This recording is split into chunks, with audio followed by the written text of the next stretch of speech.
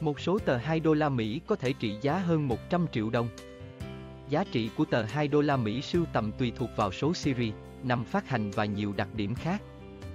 Theo đài Fox News ngày 23 tháng 2, một số tờ 2 đô la Mỹ sưu tầm có thể có giá trị lên đến hơn 4.500 đô la Mỹ, hơn 107 triệu đồng, dù loại tiền giấy có mệnh giá này trong lịch sử bị cho là điềm rủi.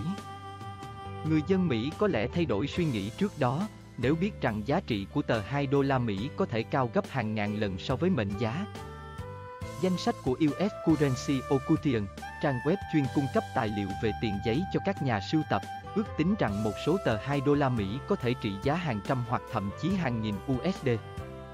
Những tờ 2 đô la Mỹ đã đưa vào lưu hành có giá trị trung bình thay đổi, từ 2 đến 2.500 đô la Mỹ, tùy theo năm phát hành. Trong khi đó, giá trị của những tờ 2 đô la Mỹ chưa lưu hành là từ 2 đến 4.500 đô la Mỹ, tùy theo năm được đưa ra và những yếu tố đặc điểm khác. Thông thường, những tờ 2 đô la Mỹ có năm phát hành cách đây càng lâu thì càng có giá, nhưng những đặc điểm trên tờ tiền cũng đóng vai trò quan trọng. Những con dấu in trên tờ tiền có thể có màu đỏ, nâu đỏ, nâu xanh dương, đỏ xanh dương, nâu, xanh dương hoặc xanh lá.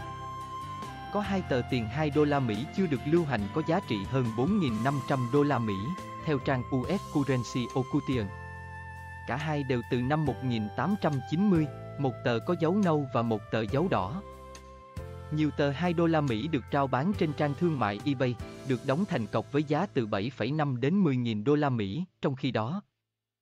Những tờ 2 đô la Mỹ đấu giá trên trang Gridcolin Coin Occultion có mức ra giá chưa tới 100 đô la Mỹ.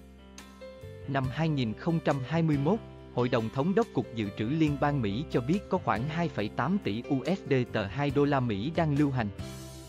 Tờ tiền này từng bị cho là tiền tiêu cực vì thường được sử dụng để hối lộ, tác động bầu cử, cá cược và trong hoạt động mại dâm vào thập niên 1920. Theo ngân hàng CNB St. Louis, những người mê tín sau đó dần dần gán cho nó là tiền mang lại điềm rủi. Tờ 2 đô la Mỹ được phát hành lần đầu vào năm 1862 in hình cựu Bộ trưởng Tài chính Alexander Hamilton. Cho đến năm 1869 được thay thế bởi hình tổng thống thứ ba của Mỹ là ông Thomas Jefferson. Cơ quan chức năng chưa có kế hoạch thiết kế lại tờ tiền này.